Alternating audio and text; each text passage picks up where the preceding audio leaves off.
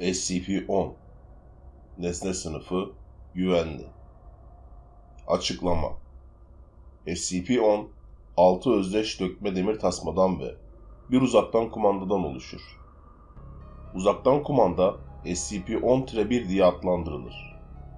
Tasmalar ise SCP-10-2'den SCP-10-7'ye kadar numaralandırılmıştır.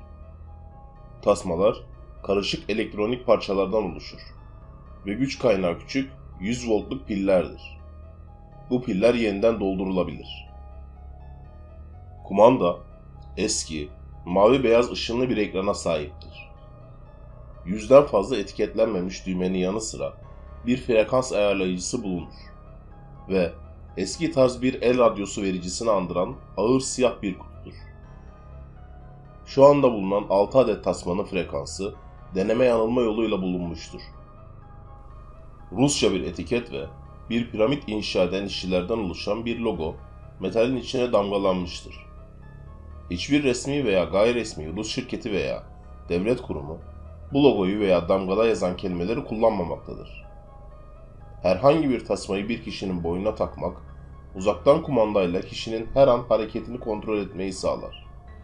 Ayrıca adrenal bir tepki verebilme ve sempatik sinir sistemini aktive ve deaktive etme kapasitesine sahiptir.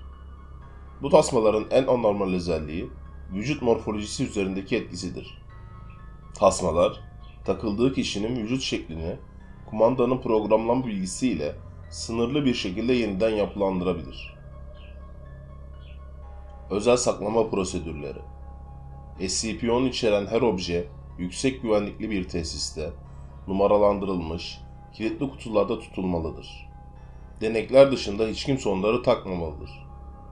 SCP-10 kutularından sadece deneyler için çıkarılmalıdır.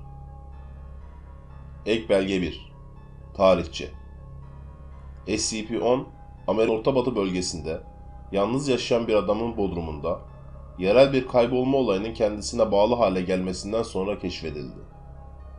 Polis, kişinin evine baskın düzenlediğinde SCP-10 ve birkaç ölü beden buldu. Bedenlerden biri kaybolan adama aitti. Diğerleri ise başa kayıp kişilerdi.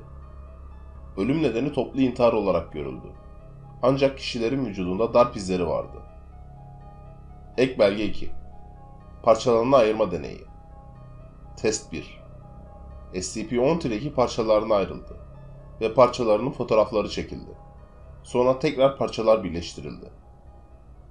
Sonuç Bu işlemden sonra SCP-10 treki eskisi gibi çalışmaya devam etti. Test 2 SCP-10 trekinin parçaları çıkarılmadan mevcut olan en yakın parçalar kullanılmış bir kopyası yapıldı. Kopyaya SCP-10-8 adı verildi. Sonuç SCP-10-8 çalışmadı. Test 3 SCP-10-2'nin çıkarılmayan parçaları SCP-10-8'e yerleştirildi. Sonuç SCP-10-2 parçaları çıkarıldığından ötürü çalışmadı. SCP-10-8 çalıştı. Test 4 Parçalar SCP-10-2'ye geri takıldı. SCP-10-2'nin çıkarılabilir parçaları kopyalarıyla rastgele şekilde değiştirildi. Sonuç SCP-10-2 parçalarının geri takılmasıyla tekrar çalıştı. Kopyalar için çıkarılabilir parçaları değiştirmek işlevselliği önemli ölçüde azaltmadı. Hasarlı bir transistörün değiştirilmesi SCP-10-2'nin komutlara cevap verme zamanını %12 azalttı. Ek belge 3 SCP-10 herhangi bir görev sırasında yeteneksiz iş gücünü iyileştirmek için inove edildi. Tasmadaki logo da buna uygundur. Doktor